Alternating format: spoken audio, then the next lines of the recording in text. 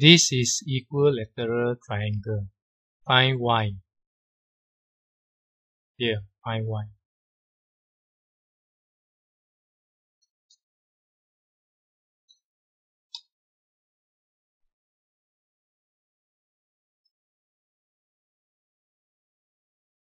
Okay, this is the answer.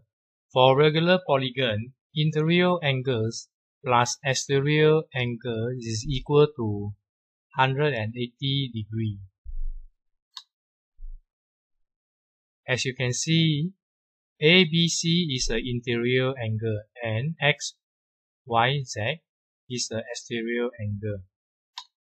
Therefore, A plus Y is equal to 180 degree and b plus x is equal to 180 degree and c plus z is equal to 180 degree.